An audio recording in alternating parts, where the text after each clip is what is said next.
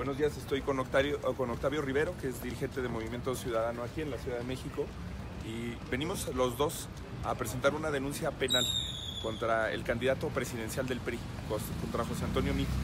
Se ha hecho el mito de que José Antonio Mid es un funcionario honesto, preparado y que no ha sido parte de la red de corrupción que gobernadores, que funcionarios, secretarios de Estado, subsecretarios y que incluso eh, el partido político en su conjunto, el PRI, ha conformado para robar dinero, sustraer recursos de las arcas públicas y utilizarlo ya sea en fines electorales o para el enriquecimiento ilícito. Lo que nosotros hoy venimos a presentar son pruebas eh, documentales basadas en investigaciones de la Auditoría Superior de la Federación de que José Antonio Mid y Rosario Robles eh, están involucrados a fondo en la lógica de lo que se ha conocido o lo que se ha bautizado como la estafa maestra, que es la conformación de empresas fantasmas, de empresas eh, que no operan con los servicios que dicen prestar para sustraer recursos públicos a través de convenios falsos y de firmas de colaboración de eh, metas concretas que nunca se realizan.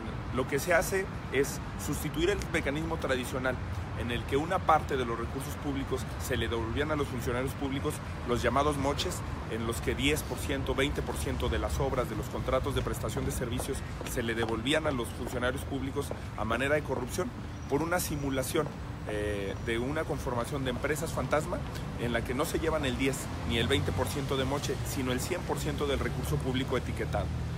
José Antonio Midi inició este esquema en la Secretaría de Desarrollo Social. No solamente es cómplice, eh, no solamente ha guardado silencio frente a la red de corrupción que conformó el PRI, sino que es un autor intelectual. No solamente es el responsable del gasolinazo, sino es el padre de la estafa maestra. ¿Por qué decimos eso? Porque él fue secretario de Desarrollo Social desde que entró este gobierno, desde diciembre de 2012 hasta el 27 de agosto de 2015, que le cedió el cargo a Rosario Robles. Y en esos meses, justo en los meses de marzo, de abril y de mayo del 2015, fue cuando se planeó el modus operandi de la estafa maestra. Por lo menos hay tres casos concretos que la Auditoría Superior de la Federación ha documentado. Uno, el caso de la Universidad Intercultural del Estado de México, a la que se le asignaron 120 millones para hacer cuestionarios. De esos 120 millones, 60 millones jamás se encontraron. No se tiene rastro, no se tiene convenio, no se tiene contrato que acredite a cambio de qué fueron depositados esos 60 millones y no se les eh, tiene eh, un destino fijo documentado.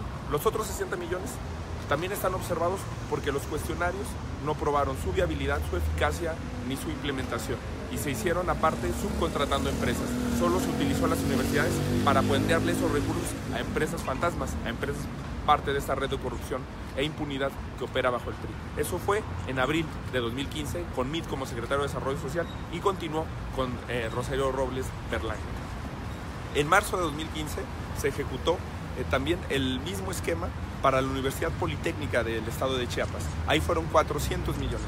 De esos 400 millones, 120 millones tampoco se documentaron bajo contratos, bajo convenios y bajo ningún registro de ningún tipo a dónde fueron a parar.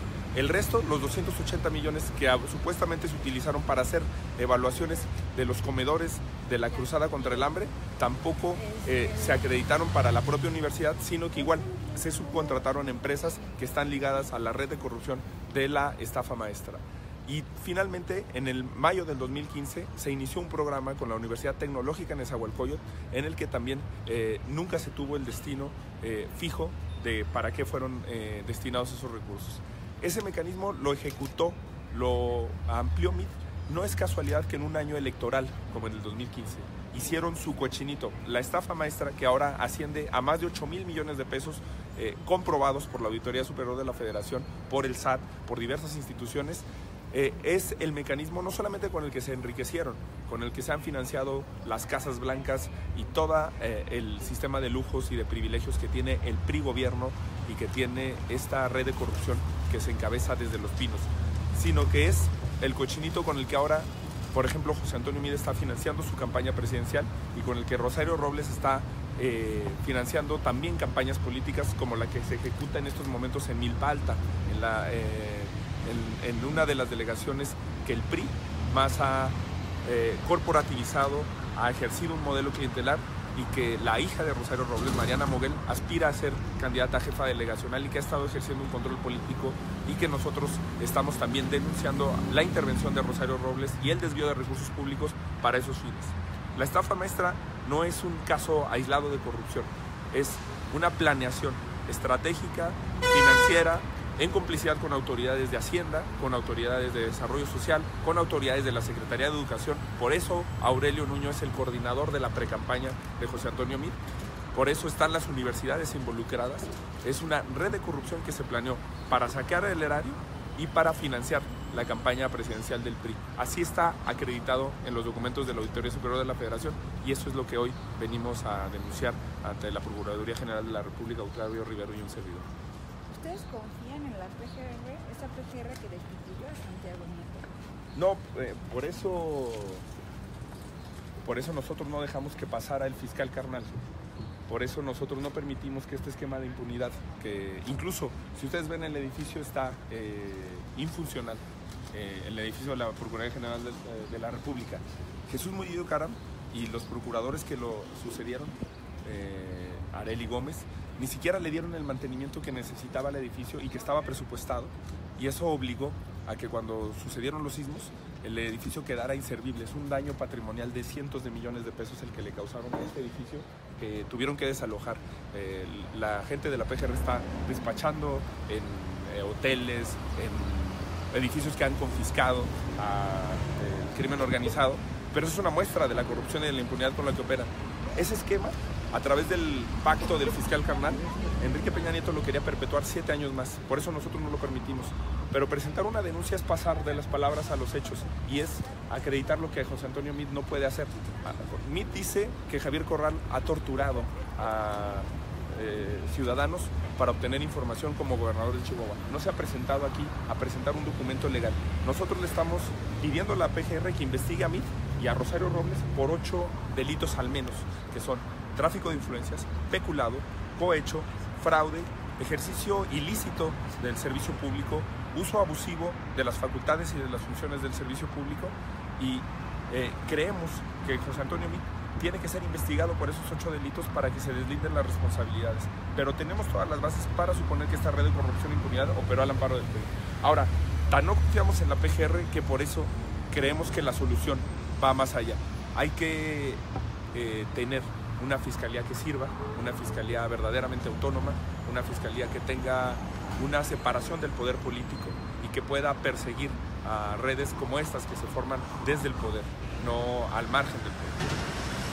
Una, esta denuncia es respaldada por los demás partidos que conforman el frente y otra es, ¿qué harán en caso de que la PGR, como es común, no haga nada con respecto a su? Pues nosotros lo que vamos a hacer es acudir a las instancias correspondientes. Hay muchos instrumentos que tenemos ahora para combatir la corrupción en el Sistema Nacional Anticorrupción. Existe el instrumento de la denuncia ciudadana. También la Auditoría Superior de la Federación puede seguir con estas investigaciones y nosotros lo que vamos a seguir es eh, ampliando el catálogo de denuncias. Hemos acreditado Ahora lo que está sucediendo en Chihuahua, por ejemplo, nosotros demandamos ante la Fiscalía Especializada en Delitos Electorales, que también es parte de esta PGR, demandamos que no solamente se trataba de un caso aislado de un gobernador, sino que los recursos estaban entrando al PRI y que el PRI no los había reportado a eh, las autoridades correspondientes, en este caso al INE, y que había toda una red de corrupción para financiar campañas políticas a partir del desvío de recursos públicos, que es lo que ha estado probando Javier Corral. Hay fiscalías estatales que nos pueden ayudar a hacer este trabajo. En los, en los estados donde gobierna el Frente Ciudadano por México, digo, Chihuahua es un caso emblemático, se puede ir haciendo el trabajo, pero lo que vamos a hacer es seguir documentando porque nosotros lo que sostenemos es que en julio del 2018 lo que el PRI se juega no es una elección para conservar el poder nada más. Lo que el PRI se juega es el pellejo. Lo que hicieron para tratar de hacer fraudes electorales en 2015, porque esto es situación de milpalta, si nosotros estamos acreditando los desvíos de recursos públicos que también se dieron, por ejemplo, con Rosario Robles en Sedatu, esto nosotros ya lo vivimos en 2015 en la elección de Milpalta. No es casualidad que sea marzo, abril, mayo, los meses en los que estos convenios se hayan iniciado y se hayan gestado y se hayan dado estos casos millonarios. Ya lo vimos en la elección de 2015, lo vimos en la elección del 2017 en el Estado de México, la aplicación de recursos públicos y de eh, desvío de recursos para eh, financiar la elección de una manera atroz, brutal. Y lo que está acreditado ahora es que es un modelo, es un cochinito para la campaña presidencial de José Antonio Meade. Tarde o temprano esto se va a sancionar. El PRI va a tener la peor derrota electoral de su historia en el 2018. La derrota de Madrazo va a ser una gesta histórica comparada a la votación que va a tener José Antonio Mid. Mid es el peor candidato presidencial que ha tenido el PRI en su historia. Mid es el candidato que va a llevar al PRI a su más baja votación en la historia. Y estos señores no solamente se están jugando una elección en donde el poder público, el poder político esté por medio, se están jugando su libertad, porque le hicieron fraude al Estado, porque le quitaron los recursos a los mexicanos que eran para programas sociales, para becas, para combatir el hambre. Se robaron Rosario Robles y José Antonio Mit lo que estaba destinado para combatir el hambre de los mexicanos y lo están utilizando en su beneficio propio, en enriquecimiento ilícito y en campañas electorales. Por eso nosotros no podemos permitir que esto quede así vamos a tener, eh, nunca va a haber en la historia de México una documentación mayor, una investigación más amplia, documentada, sustentada de una red como esta y vamos a actuar en consecuencia cuando el Frente Ciudadano por México tenga un gobierno con una fiscalía autónoma que sirva y que pueda ir al fondo de estos hechos y que pueda perseguir. Primero les vamos a ganar en las urnas y luego va a actuar la justicia como ya está pasando claramente en el caso de Chihuahua con Javier Corral. Gracias, los vamos a seguir informando de este caso.